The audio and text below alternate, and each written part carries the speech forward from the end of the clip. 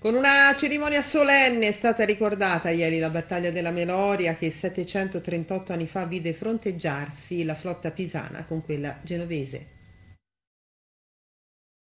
Era il 6 agosto 1284 quando alle secche della Meloria si svolse lo scontro tra la flotta della Repubblica di Pisa e quella della Repubblica Marinaria di Genova, un giorno infausto che diede inizio al declino della potenza pisana e che a distanza di 738 anni viene ancora ricordato. Nonostante i presagi favorevoli, infatti, la battaglia fu combattuta nel giorno di San Sisto, giorno in cui si celebrano le vittorie militari di Pisa. L'esito fu disastroso, moltissimi morti, quasi 10.000 prigionieri che dovettero attendere 15 anni prima di tornare in patria e la celebrazione che ogni anno si svolge al largo, proprio dove le galee pisane affrontarono quelle genovesi, ha lo scopo di celebrare le vittime e i prigionieri di quel disastro militare. Ricordiamo tutti i caduti pisani in tutte le guerre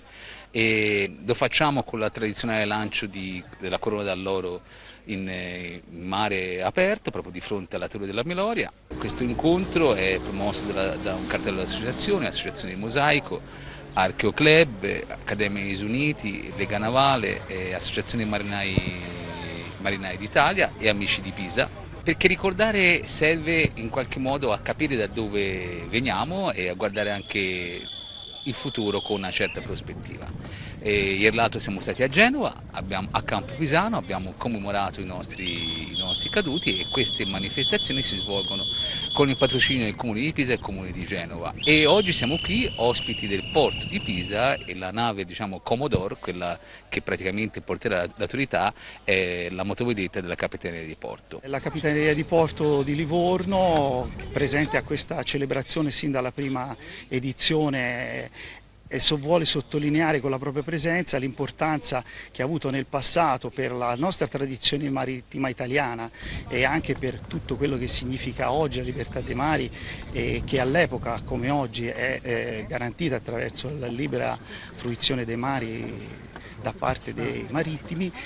quindi oggi con questo noi intendiamo sottolineare ancora gli stessi valori che all'epoca hanno garantito a chi ci ha preceduto in questo mestiere di eh, portare avanti le tradizioni del mare, la cultura, le conoscenze. E testimone di questo è il fatto che ancora oggi sulla bandiera della Marina italiana, così come quello della bandiera mercantile, è presente sia gli stemmi di Pisa ma anche delle altre tre repubbliche marinare, di Genova, di Venezia e di Amalfi, proprio a ricordo delle glorie e dell'importanza che queste hanno avuto per la civiltà occidentale, garantendo i commerci e i traffici marittimi che come vediamo ancora oggi sono il cuore delle nazioni moderne. Ringrazio l'associazione Nel Mosaico che con Riccardo Buscemi ha organizzato, organizza da diversi anni, insieme anche all'Associazione Marinai d'Italia, alla Capitaneria e tutti quanti eh, che collaborano a questa rievocazione, un ricordo di quella antica battaglia sulla quale ci furono anche tanti, tanti caduti, eh, in un momento come questo dove la guerra fervora all'interno dell'Europa sicuramente è un momento di grande riflessione della Lega Navale, spero di non aver dimenticato nessuno se lo fa.